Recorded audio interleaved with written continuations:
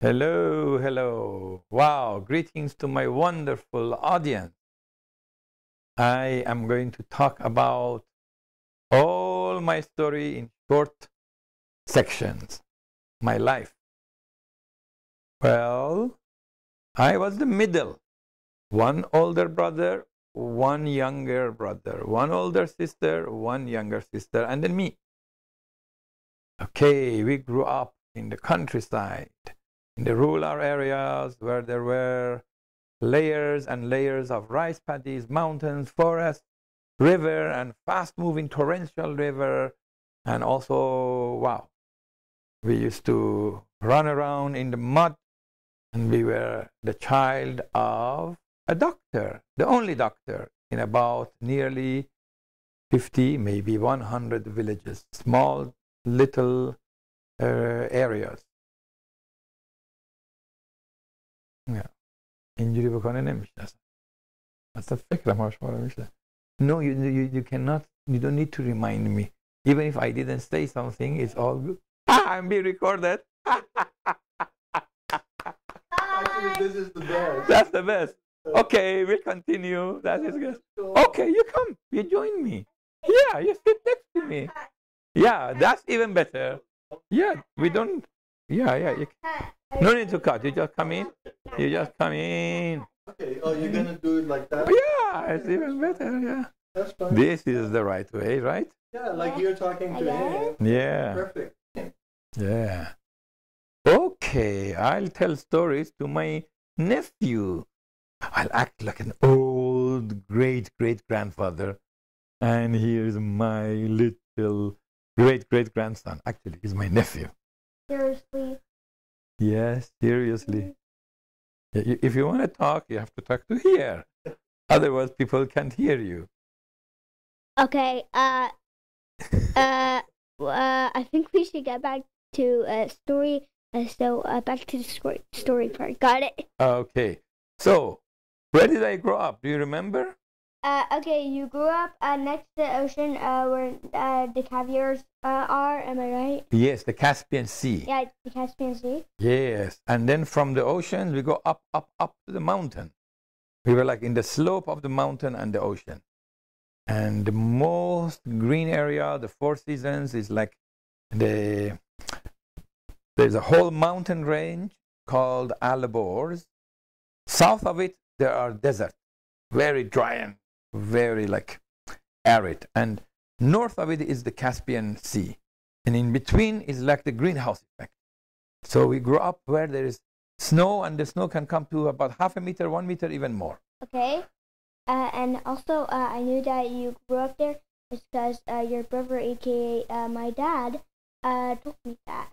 So yeah. Oh, your dad took you where?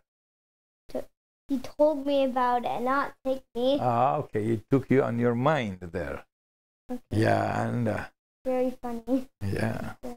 So, so we were five. He was the oldest. He was most powerful, your dad. yeah, I know. Yeah, I know. Even now he's powerful, right? Yeah, even though he tripped and his leg got hurt. What? Well, okay.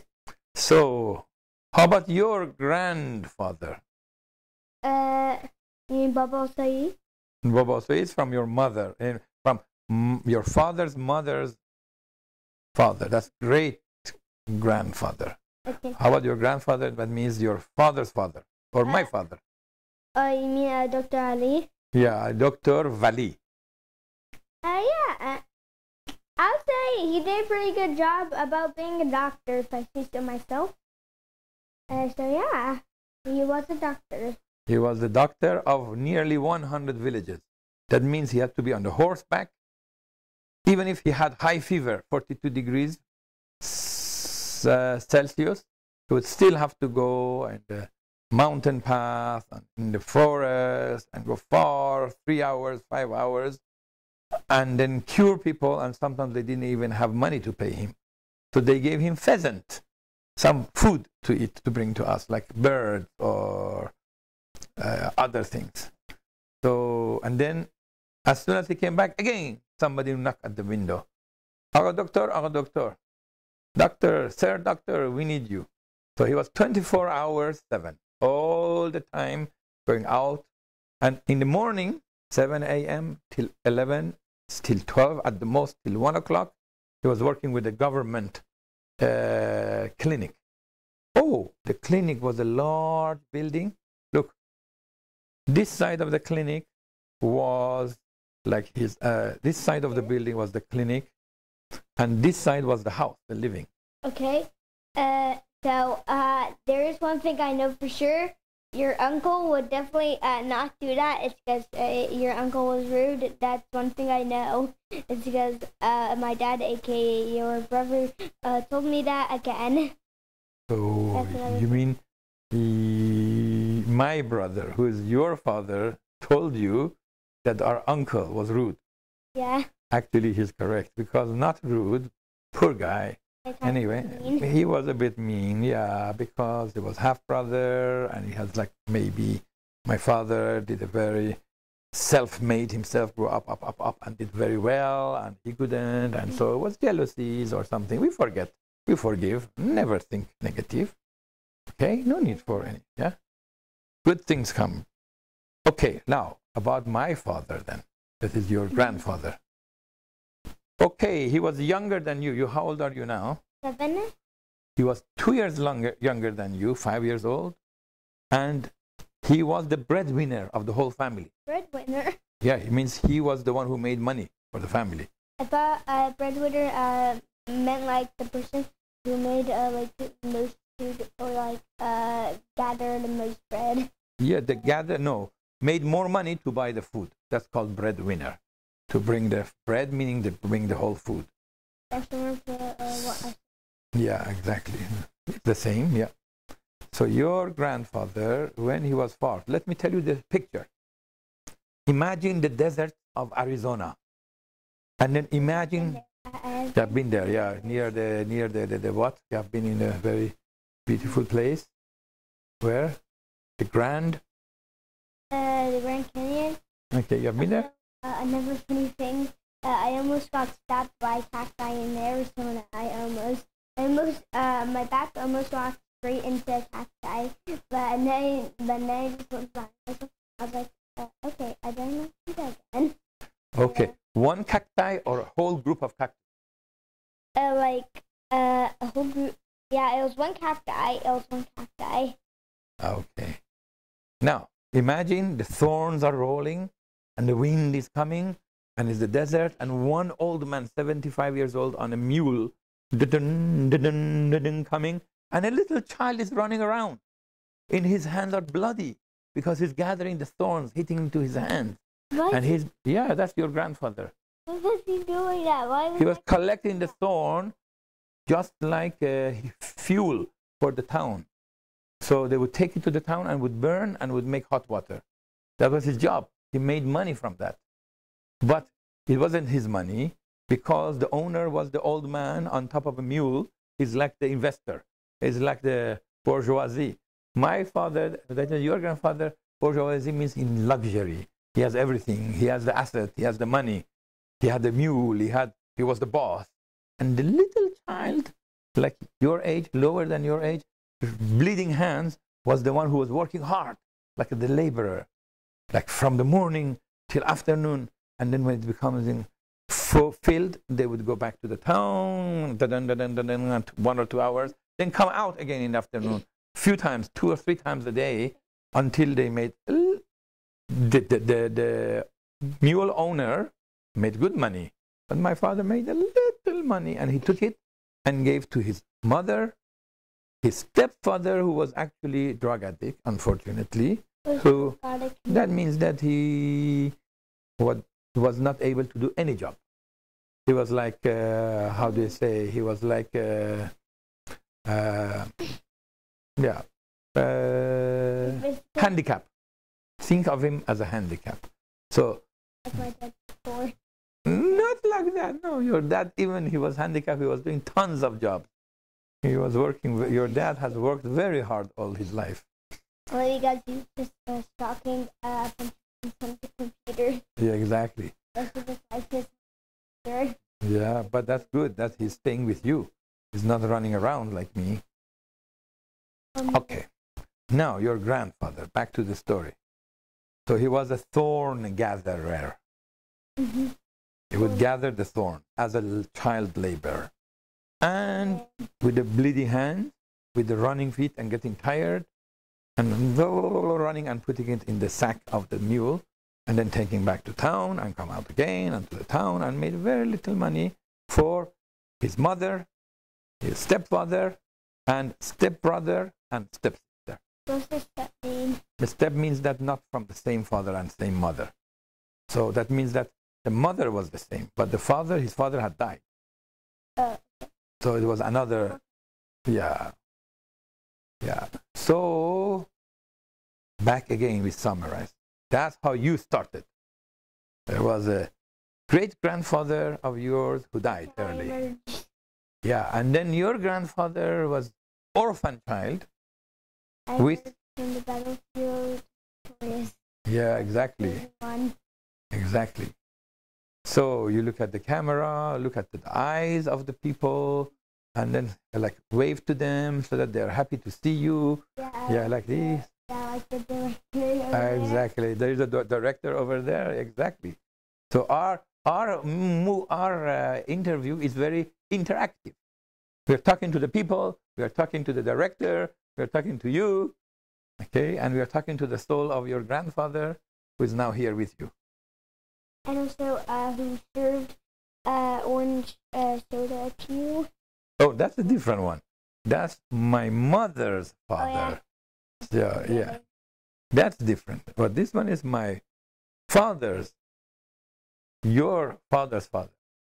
Okay. Okay, great. Okay, with my great nephew Anis. Oh, Nafis. You're read- thinking we- about. yeah, we redo it uh, again. You're, you're thinking about uh, your other nephew, which is actually a teenager now, kind of recently. Yeah, oh wow. Okay. Yeah, so we have another nephew who is related to you. Huh? How is he related to you? Uh, because uh, we're brothers. Oh, wow. But you came first or he came first? Uh, he came first because obviously he is a teenager now. He's a teenager or a teenager? Or a teenager? He he's a teenager. How old is he? 13. 14? You have to be 13 to be a teenager. Oh, he just turned 13, so he just became teenager. Uh, I mean, uh, no, I of mean uh, like a few days ago. Okay, a few days ago. Very good. I was not a that's something I'll tell you. Okay. Now, about your grandfather again. So, when he grew up, he did every difficult job that exists, like being porter, carrying big lift of weight, or being a mason, or being a shoemaker. Are Or-? Yeah, no, he was like, or Yeah. digging the ground every day, morning to the evening. Digging, uh, for, like what? Not for gold, I don't know, for maybe building, making the building, construction. Okay. maybe passing the brick. So becoming uh, uh, what I call it a mason means how uh, building houses. So anyway, or even sometimes just portering, taking the the dirt from one place to another place for the people to mix it with the cement. So he did every kind of low quality hard job. More interestingly, or worse than that, he got every killer disease that existed there, including smallpox including plague. I mean, in his face, there were signs of the killer diseases. His eyes, his like, mm, like almost like cut face. So he had the most difficult job any child can have, and any teenager can have. Dude, that's how he probably died. No, his life just starting. He was illiterate means that he didn't go to school because he didn't have money, he didn't have a father, nobody took care of him. He took care of many others. Because he could, couldn't go to school, he learned by himself. Okay. When he was older, 20 years old approximately, he became a Baha'i. And he said, Oh, I will change my life. So in one year, he studied sixth grade and he passed the exam, became a, a primary school graduate. In one year, in one year, he learned three more classes. He finished ninth grade. Cool. And in one year, he finished the 12th grade. That means in three years, he became a high school graduate. What? Yeah. So that's why you have to learn. You do it faster and better and than any all others. Unlikely uh, for me, uh, what uh, first grade is much easier, and second grade is just for teenagers school. But you need to, for now, already be thinking that I'm in university and I'm graduating. Because your grandpa did. At the age of 20, he started learning alphabet or the beginnings. And then in three years, he was high school graduate. And then he had to take time off to work hard to make a little bit more money. Then he went to university. He got two universities, two PhD or MDs, became double doctor. The, actually, uh, the reason why uh, I don't really know my alphabet is because uh, I'm always stuck on the letter T of like uh, what comes next. So yeah, I think it was. It was just you. Anyways, uh, back to the interview. Yeah, okay, no problem. Yeah, when you interview, you speak louder. Okay. Okay. Okay, now I will I will ask you. So, how much do you know about your father's father? Uh, I mean, I'd say uh, to this interview, I know a lot more. It's because uh, I just thought uh, that like uh, so uh, that he was uh, like um like uh you were and uh, my dad's dad. So like uh so, so I thought like I my dad did tell me uh, that he is a doctor. So I did uh know that. He also told me uh, some other stories about it. Uh, so yeah, I kind of do know him better thanks to this interview. Yeah. Now you know he worked hard as a child with bleeding hands. Yeah, and he worked every single hard job and he got every disease. He even got, got gangrene, something that means that the, the tarantula bite him. And for three months, the whole thing is like becoming like a very infected, painful, almost like dying, but he still worked. So, and he was illiterate. He didn't know what kind of diseases he got.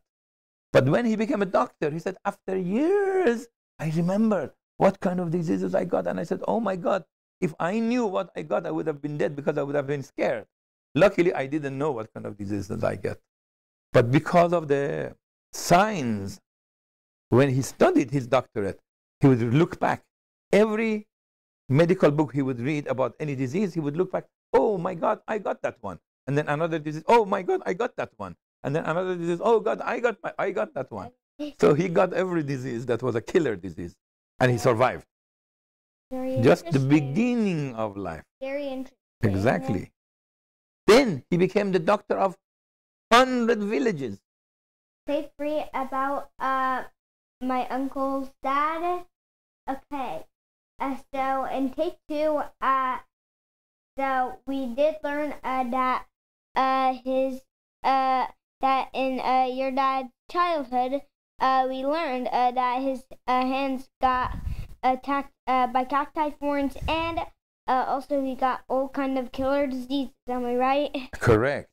As he grew up, and he did all the difficult jobs Mhm. that anyone would have. So, a poor child from a small village, father died, became orphan, and he had a family of five, including him, that he had to bring money for. He, like he was the he was a baby who was like the father of the house. Okay. Okay. okay, making me laugh. Yeah. Okay. So now, after he did through work through all the hard times, did all the hard work, got all the killer diseases, survived, and then all of a sudden he learned about the new revelation, new dispensation, new era, new world, and then he just got excited. He said, "I will make myself change, and I will make the world change." Okay. That's why he became Baha'i, and then he went to the fast through the primary school in six years in one year, three years in one year, three years in one year, 12 years in three years, and he graduated. Then he became a doctor. Now, how will go to serve the people? So he first thought, I'll go to the most difficult part of the country. He went to the Baluchistan, the south. What's that? That's a region where there is the most like tribal like a camel and horse ride, and no civilization, no electricity, no water, very difficult times, and two countries, Iran and Pakistan. At that time, the border was open. It was a whole Baluchistan. He was the only doctor, not just of a hundred, of the entire region of Baluchistan. And he had a big, fast horse that he would go to, um, like every kind of like village, township, disease, uh, illness, poor people, uh, rich people, the Khan. He was the only doctor for six years. And that's where your father was born. Okay, uh, so, uh, if, uh, you, so basically imagine this hand, uh, is, uh, him and this hand is cactus. So he just, like, uh, walks towards the cactus and then he just touches it and then he just runs off. No, he has to gather the cactus. He has to gather thorns. But, but didn't you say running with bleeding hands and Dave too? Didn't Yeah. you say that? Yeah, yeah, yeah. Huh? Yeah, his bleeding hands because his job is to collect the cacti or the cactus or the. running with bleeding hands. Yeah, he was running around with bleeding hands because Exactly. his job, like if, if you're a gardener, you have to collect the roses. He was not a gardener, he was a thorn gatherer. His job was 10 hours per day. He has to around though, eh? Yeah, running around. He had to running around because why? Because the wind would roll the thorns. The thorns are very light. They will run, and he had to run after them. Have to collect them. He was a collector of thorns. Yeah. Okay, so that's who? That's your Uh, that's that. uh, your dad's dad. Yeah, he's your grandfather. Also known as uh Uncle Dad. Yeah, and his name was Doctor Vali, or complete name is Dr. Valiullah Kamalabadi. From the village of Kamalabad. He actually is from the village of Kamalabad. I didn't know that there's a village named after uh our family. It's the other way around. There is a village, and our family is named after that village. Oh, oh. Yeah, we I thought that it was the other way around. I thought uh, we were named after the village. in the future, yeah, we were named after the village. But in the future, many cities and many streets will be named after your family name because Mhm. of your grandfather. Yeah. Uh, my cyber industries, uh, because I'm going to be an engineer or a video gamer. Uh, every street is going to be called Kamabad, uh, Nafis, Anis, uh, maybe even your name, maybe other people's name too. Yo, wow, you are going to be the promoter. Mhm. Yeah, okay, the Mhm. PR, public relations, promoter, and maybe you will be the filmmaker that will Mhm. tell the story of many, many good hearted people around the world, Mhm. starting with your grandfather. But somebody is making noise down upstairs. Uh, that's downstairs. Yo, no noise, please, tell them. No noise! we are filming for no, I God's didn't sake. make a noise. Okay, no problem. Okay, now talk to our audience. The audience are so happy to hear you. Okay, uh, so, uh, despite uh, that I am named uh, after uh, somebody, well, my name, well, my middle name is uh, Badi, which is named after uh, somebody. Uh, despite that, I would say that this is pretty interesting. Uh, I mean, like, even though Buddy did somehow get like um, invincibility force field, even though uh, they did smash his brain and stuff. So yeah, E- even despite that, uh, that was a pretty tough job. So I like both ideas. Uh, so yeah, that that's pretty cool. That means you will do great job for the world? Uh, yeah, You mean you are convinced you must help everyone? yeah. I think I'm going to make uh, even more increased. Simon says, like you know, there's only uh, red, uh, yellow, green, and blue. I'm going to make it like much more comfortable, uh, uh, complex than that. yeah. Okay, very good. Okay, back to your father's father. Uh-huh. When he became a doctor, first he went to the tough areas for six years. In that area, my mother, that means your grandmother, says everywhere were snakes, tarantula, uh, like were, snakes and tarantulas. yeah, and scorpions. And also, I like And your father, that means their first child was born there. So your father, my brother, was born in a very dangerous rural areas of Baluchistan until he was two years old, maybe. Then my father said, okay, for the children's safety, I will still go to villages, but not this tough area. I'll go to the north of Iran, where there is a greenery, there is water, and there is a. Uh, so, but he was asked to go to Belgium or maybe to Latin America outside. He said, no, I want to serve Iran and I want to serve the village people of Iran, where he had come from, villages. Yeah, so your father is known as the one who served the rural area the most. Maybe in one lifetime, he met maybe half a million patients, minimum 200,000 patients. Very interesting. He cured everyone, and he's a legend there. If you go, your cousin, that is my son, Exir, when he was 11 years old, I took him there. And all the villagers came, and the children of the children were talking to him for 10 generations. As long as our children's children exist and your children's children exist, we are thankful to you because of your great your grandfather. Okay. So you come from a very important, legendary person who served the people. hmm So you must become a very good person in the world. And also, uh, my middle name is uh, also. Badi, very important. Yeah. Your first name is very important. That is Anis. Your middle name is important. Is Badi. Your family name is important. Is Kamalabadi. Uh, wow, wow, wow. You said my middle name is Anis, and you also said my middle name is Badi. No, your I- first name is Anis. Oh, Nafis. I made it wrong. Okay, sorry. okay. From my older brother, Iraj Kamalabadi, I have two nephews. And I often mix them. Yeah, he does So- First nephew is Anis Kamalabadi. And can you tell me your name, full name? Look at there. Uh, okay. Full name again, I guess.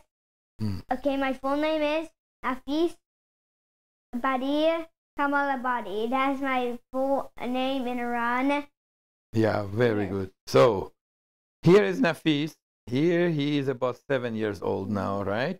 Yeah. He's two years older than my father, his grandfather, when he started work. He was working earlier than you, and he was doing a lot of hard job. He's five, but he did that. Yeah, his job was he was a thorn gatherer. Mm-hmm. And he got Okay. spiked a bunch of times. Yeah. Okay, and he was the breadwinner of the family of five, the only breadwinner of a family of five when he was five years old. Okay. Uh, yeah. Yeah. And he got every killer disease. He did all the difficult work of life. He was dad is- illiterate. My dad uh, is the bread counter of the house since he is like the only one who goes shopping uh, for uh, my favorite foods. Oh, okay. In Like your house, your father is the breadwinner of the house. Mhm. No, your mother is also breadwinner of the house. She works. But but she doesn't go shopping. That's a true fact. Ah, Okay. But she makes the money that gives you your school fee and also takes care of you. Yeah, every your school has to you have to pay money for them. Oh, okay. Nobody works for free, otherwise their family cannot survive. They, the teacher is the breadwinner for their, their family. Okay.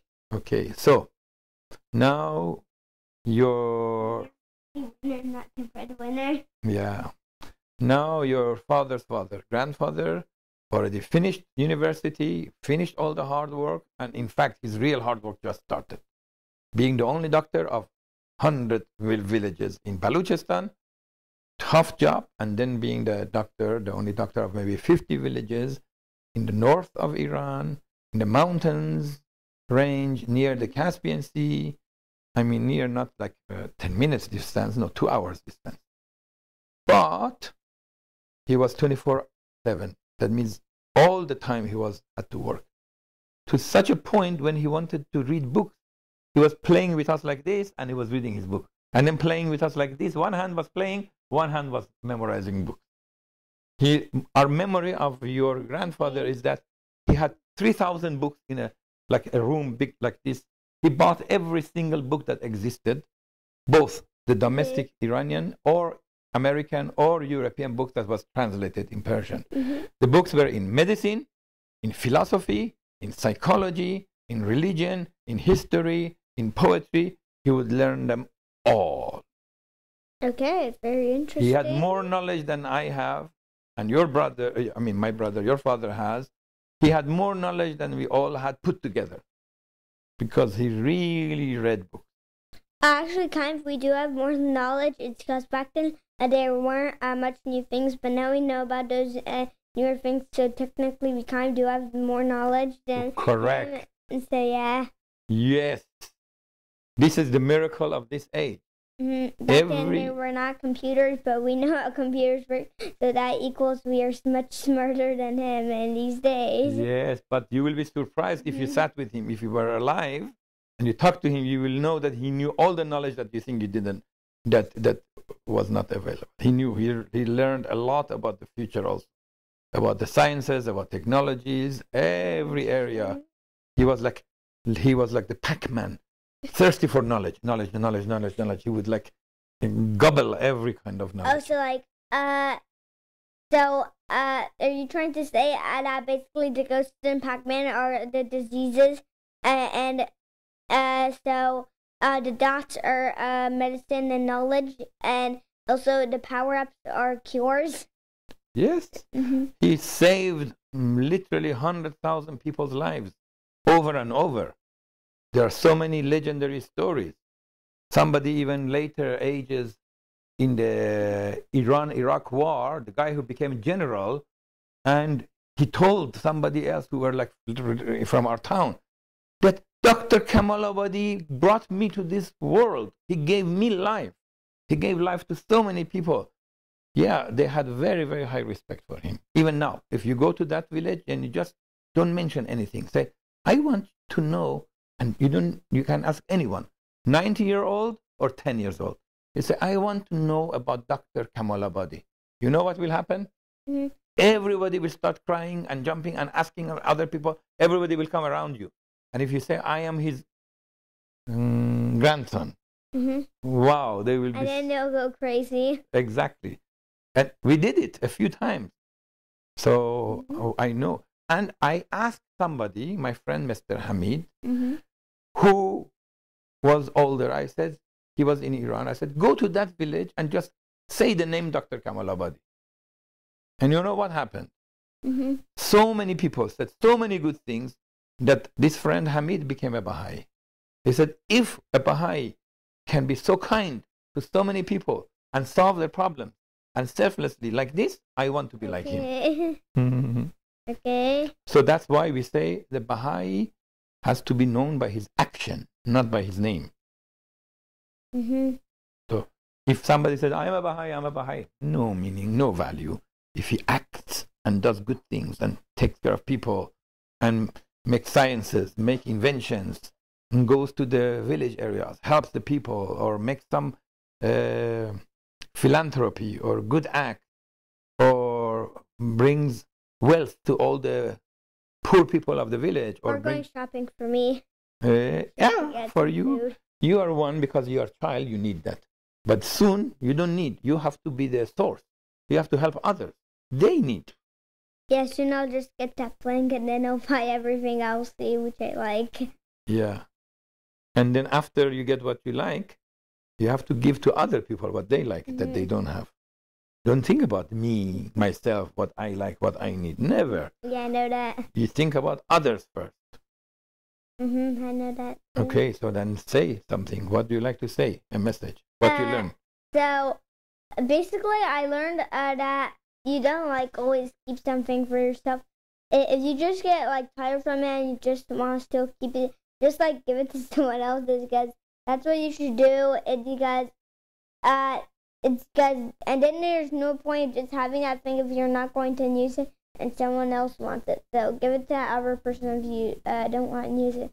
Like if you get uh, bored uh, on playing on a phone, uh, and you like uh, it's very laggy. So uh, and they and someone wants to play a different game, and you just like don't want to play anything on there.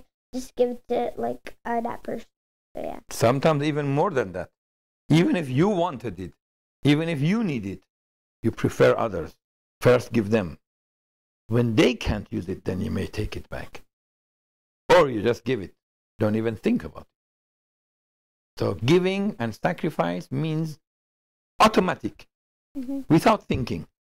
Giving and don't even thinking that I want it back. Okay. That's called detachment. Okay. Uh, very interesting. This word you have to memorize detachment. That means I am not attached to something. Okay. Uh, wait. Uh, I'll be right. Okay?